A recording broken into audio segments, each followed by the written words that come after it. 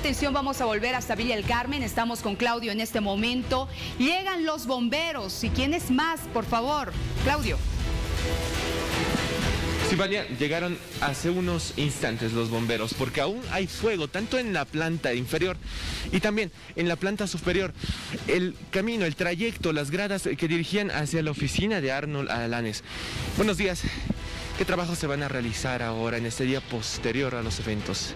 Muy buenos días. Eh, hemos podido verificar que la presencia de un foco de calor de manera extensa y un pequeño foco de calor en la parte de abajo. Eh, vamos a realizar, el día de ayer trabajamos, realizamos el trabajo de remoción y enfriamiento, pero no se logró la extinción total debido a que la gente que estaba acá nos estaba presionando y no nos dejaba hacer el trabajo adecuado. En este momento vamos a proceder lo que es la remoción en la parte superior, el enfriamiento, la, la sofocación para lograr la extinción total del incendio. ¿Se va a hacer tal vez un estudio minucioso de los objetos que hay, que tal vez algunos incluso sigan siendo inflamables?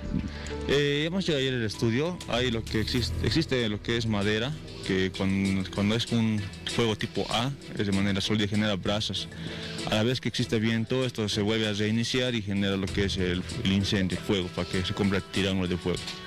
¿Cuánto aproximadamente se tarda ya en apagar lo que falta? Eh, yo creo que una hora aproximadamente vamos a demorar porque existe madera y vamos a tener que botar la madera a la parte exterior y así lograr que ya no exista material combustible para sofocar en su totalidad el incendio. Muchísimas gracias. Ese es el trabajo que van a realizar, Vania, pero vamos a mostrar qué es y por qué vinieron.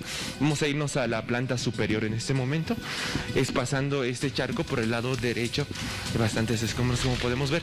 Y sí, el fuego está fuerte, de hecho, el humo, si nosotros nos acercamos en este momento, en el día posterior a todos los eventos que se han suscitado ayer, no nos podemos aproximar tampoco tanto porque es, es mucho humo el cual podemos ver. En este momento estoy subiendo las gradas, Henry ya me está siguiendo y van a poder observar que por el fuego, por la brasa que está en el sector, no hay manera de transitar por ese lugar, no hay manera de pasar hacia el otro lado. Y el trabajo, como hemos escuchado, de los bomberos va a ser realizado por una hora o tal vez más para sofocar estas llamas que aún quedan después de todo lo que pasó ayer.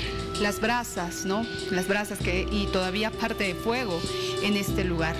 Así ha quedado este mercado, el mercado denominado paralelo por los cocaleros del señor Machicado, quienes el día de ayer han tomado estas instalaciones para cerrarlo. Hoy las autoridades se van a pronunciar al respecto. El ministro de Desarrollo Rural y Tierras ha anunciado una conferencia de prensa. Vamos a estar pendientes.